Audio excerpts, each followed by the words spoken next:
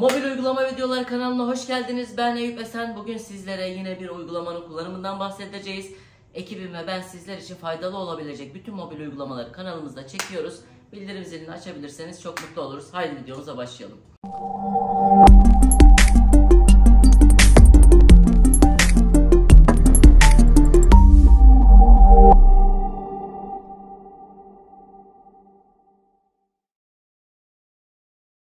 Merhabalar mobil uygulama videoları kanalına hoş geldiniz. Bugün sizlerle İş Bankası mobil uygulamasında nasıl para aktarımı yapabileceğimizden bahsedeceğiz. Hazırsanız videomuza başlayalım. Evet ilk olarak para aktarma menüsüne giriyorum. Başka hesaba havale, EFT ve FEST işlemlerini inceleyelim. Menüye giriş yaptım.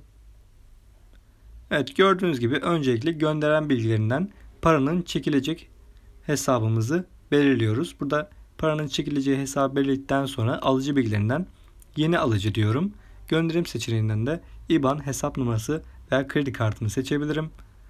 IBAN'ı tercih ettikten sonra alıcının IBAN'ını girmem gerekiyor bu adımda. Yan tarafta yer alan kamera işaretinden de IBAN'ın fotoğrafını çekebilir veya galerinizden seçerek ilerleyebilirsiniz. Evet tanımlı alıcıları ekle derseniz de bir sonraki işlemde teker teker bu IBAN bilgilerini veya havale bilgilerini doldurmadan istediğiniz tutarda hızlıca işlem gerçekleştirebilirsiniz. Tutarımızı girelim. Örneğin 50 TL göndermek istiyorum. İşlem türünden konut kirası ödemesi, iş yeri kirası ödemesi, maaş, e-ticaret ödemesi veya bireysel ödeme gibi birçok ödeme seçeneği mevcut. Buradan size ait olanı seçtikten sonra açıklama doldurmak isterseniz açıklamayı yazıyorsunuz ve devam dediğiniz takdirde IBAN numarası üzerinden para gönderimini sağlayabilirsiniz. Eğer mesai saatleri dışındaysa yani sabah 8 ve akşam 5 veya hafta sonu ise bu saatler dışında para göndermek isterseniz FES işlemiyle para gönderebilirsiniz. Devam dediğiniz takdirde eğer mesai saatleri dışındaysanız şimdi FES ile gönder seçeneğini göreceksiniz. FES ile gönder derseniz 724 şekilde para gönderimi sağlayabilirsiniz. Evet bir de hesap numarası üzerinden onu inceleyelim. Öncelikle İş Bankası hesabına veya başka banka hesabına seçenekleri mevcut. Burada İş Bankası hesabına derseniz alıcı şubeyi seçmeniz gerekiyor. Başka banka hesabına derseniz de alıcı banka, alıcı şube, alıcı hesap numarası ve alıcının adı, soyadı veya ünvanını doldurmanız gerekiyor arkadaşlar.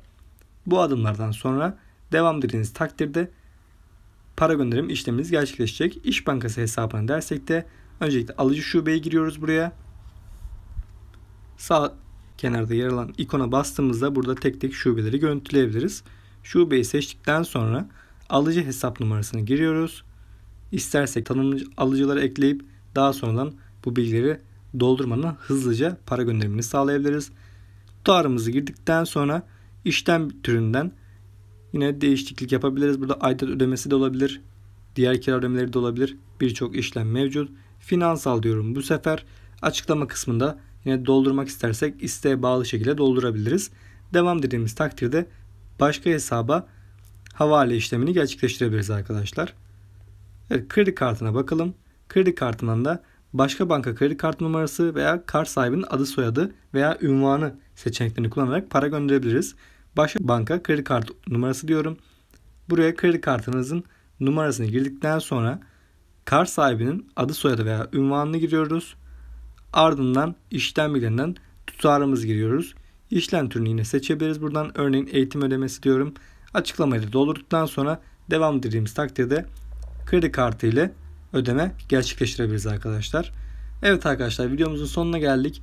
Bizi izlediğiniz için teşekkür ederiz. Kanalımıza abone olup bizi destekleyebilirsiniz. Bir sonraki videoda görüşmek üzere. Hoşçakalın. Bir mobil uygulama videoları kanalının sonuna daha geldik. Ben Eyüp Esen ve ekibim sizler için kaliteli ve faydalı olabilecek birçok mobil uygulama videosunu bu kanalda çekiyoruz. Siz de destek olmak için bildirim zilini açabilirsiniz. Tabii ki de bildirim zili abone olmaktan daha önemli. Şimdilik hoşçakalın.